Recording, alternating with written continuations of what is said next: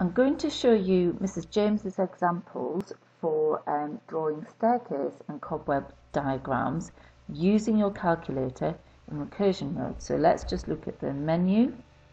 Um, remember that we can do iterations using recursive um, menu here, which is menu 8. So we start by typing in the formula.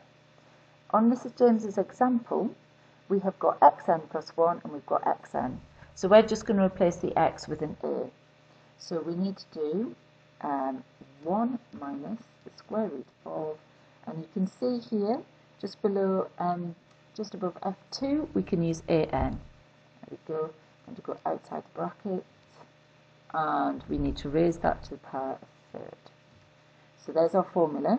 We now need to put in our starting value, so we use set. So this start and end is just for the counter for n. So we're going to start with x1, then x2, then x3, and so on up to x20. So if we scroll down to a1, that's our starting value. So we want 0.5 here.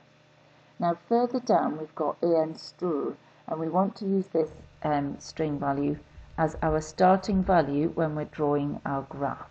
So I'm putting in 0.5 and pressing execute and now exit will take us back to our form.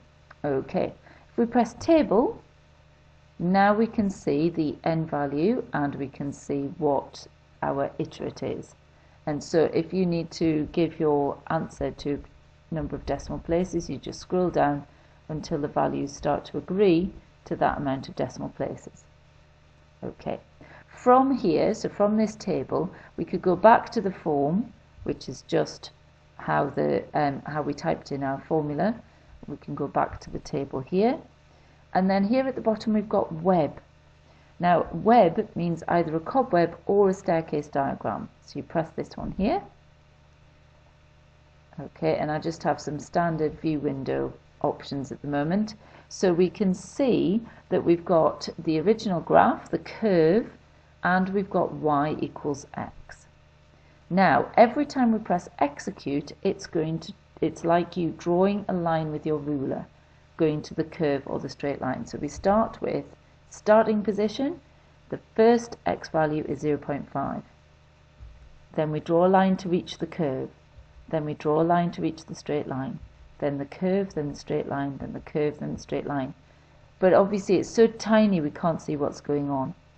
So it's really sensible to use the zoom function so I'm going to do zoom in and if you take your cursor to roughly where the two graphs cross and zoom in on that okay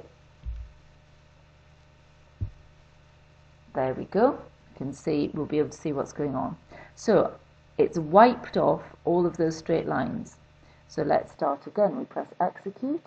We're starting with x is 0.5 there we go. We um, drawn a line to the curve. Press execute. We draw a line to the straight line. Press execute. It goes to the curve.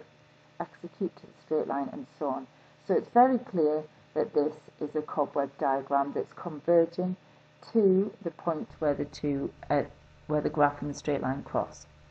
Okay, let's exit. Okay, and delete this one, and we're going to do the second example. So again, we type in the formula. So we want the third root of 2 to the power of an. So I'm choosing an is f2.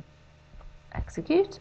We need to set the starting value this time to be 1.5. And we do the same with the string that we're going to, that's the value that we end up starting at for the graph. So I'm going to exit that. I'm going to press table and there's my list of iterates if I want to look at them. Uh, but I want the graph so I'm going to press web.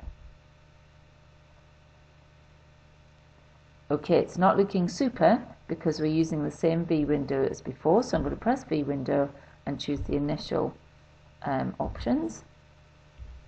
Oops web. There we go. That looks more sensible. We've got a nice um, exponential graph there and y equals x.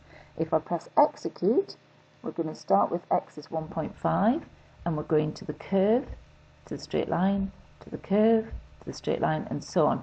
Again, we can't really see what's going on, so let's zoom in. So we choose zoom.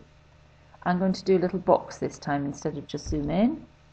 So what I'm going to do is move my cursor to be just to the left and down of where the graphs meet.